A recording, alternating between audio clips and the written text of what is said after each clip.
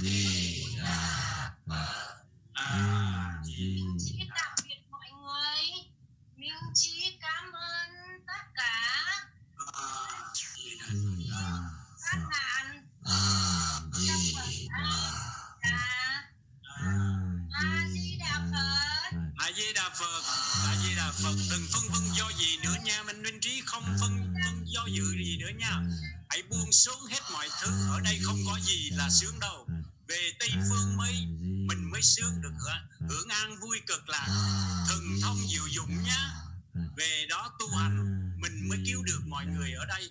Anh nhớ nhá nhớ lời của lão cư sĩ đã nói với anh tối hôm qua đấy mình phải về cho được tây phương.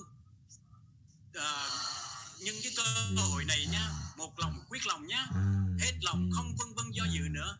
Về tây phương cho chuyến đò này mình phải về cho được tới tây phương đồng ý nhá giơ tay lên đi. Về rồi nhá.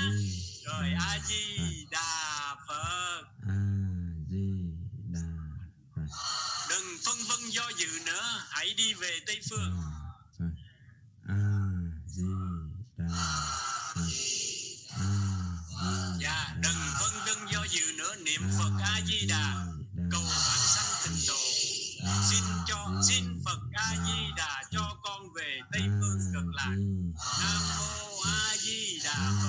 hương linh hãy nói lên những điều đó. A di đà phật xin phật cho con về tây phương. Ở chốn này không còn con không còn vướng bận gì nữa. Con quyết lòng theo ngài về tây phương cực lạc. Nam mô a di đà phật. Xin a di đà quan âm thế chí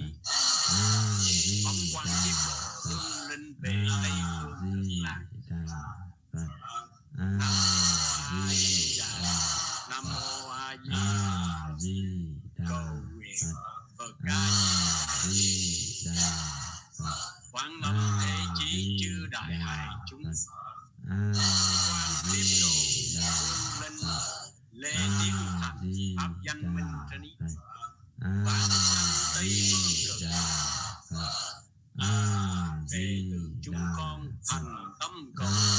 Phật a di đà quan âm thế chí chư đại hải chúng đại di đà lai nghinh tiếp di đà tự lê tiến di đà danh miên trí phản sanh về tây phương cực lạc nam a di đà hương linh ơi hương linh đừng do dự nữa đừng do dự nữa không nên do dự nữa. Hãy hãy ra khỏi thân xác nguyên tú. Vãng sanh tây phương cực lạc. Nhá.